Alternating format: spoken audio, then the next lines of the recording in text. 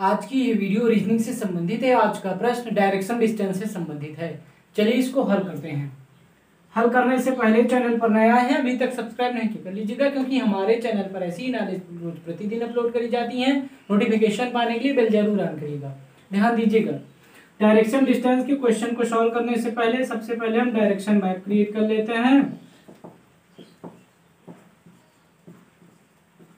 Fast अब इसके बाद पढ़ते हैं प्रश्न को, यदि सिया पहले उत्तर दिशा में चलती है, उत्तर दिशा में, पहले उत्तर दिशा में चलती है, ठीक?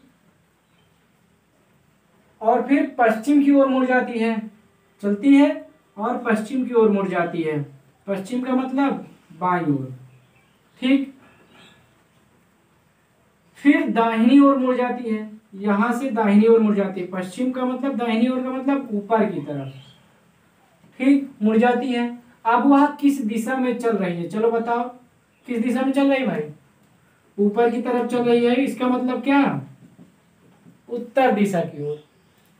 उत्तर दिशा की ओर चल रही है ना? तो यहाँ पर आपका कौन सा ऑप्शन सही होगा? बी ऑप्शन सही होगा। उत्तर। अब वो उत्तर दिशा की ओर चल रही है। तो आई होप कि आपके समझ में आ गया होगा आज की इस वीडियो में इतना ही। चैनल पर नए आए हैं, अभी तक सब्सक्राइब नहीं किया, कर लीजिएगा। क्योंकि हमारे चैनल पर ऐसी ही नॉलेज प्रतिदिन अपलोड करी जाती है नोटिफिकेशन पाने के लिए बिल ज़रूर ऑन करिएगा।